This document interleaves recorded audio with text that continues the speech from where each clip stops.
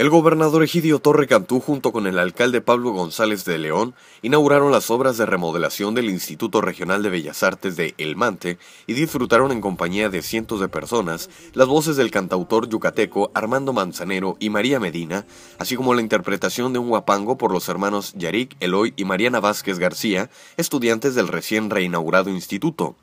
Develó la placa conmemorativa y firmó el libro de visitantes distinguidos donde escribió, con gran orgullo, de inaugurar la Casa de la Cultura. La directora del Instituto Tamaulipeco para la Cultura y las Artes, Libertad García Cabriales, reconoció a quienes por muchos años promovieron la construcción de un espacio para que niños y jóvenes explotaran su creatividad artística. Mandatario, muchas gracias.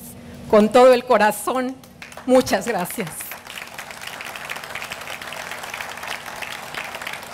Porque en estas paredes, porque en estos muros se siembra también el futuro, se construye la esperanza, porque en cada niño y en cada joven que llegue aquí y tome un pincel y cuente un cuento y se acerque a un maestro de música y aprenda del teatro, estaremos construyendo la armonía y estaremos creando los baluartes de paz para Tamaulipas.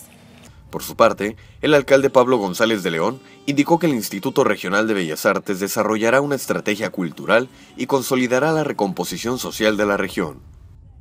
Sabemos que contamos con su respaldo y apoyo.